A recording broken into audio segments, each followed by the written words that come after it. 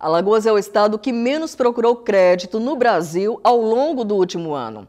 O levantamento Finanças Regionais, as diferenças na relação com o dinheiro entre os estados do Brasil, realizado pela Serasa, mostra que o nosso estado é o que mais buscou limite extra para empreender. Os métodos mais procurados e contratados aqui no estado são cartão de crédito e empréstimo pessoal. O estudo também indica que o parcelamento está em alta no Brasil.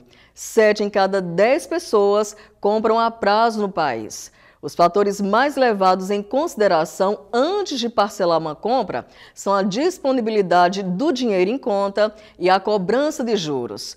O uso de cartão de crédito de terceiros é o método mais popular de parcelamento entre os consumidores alagoanos. Apesar do investimento de tempo em controle financeiro, o Estado tem o maior índice de endividamento por alimentos e mantimentos do dia a dia.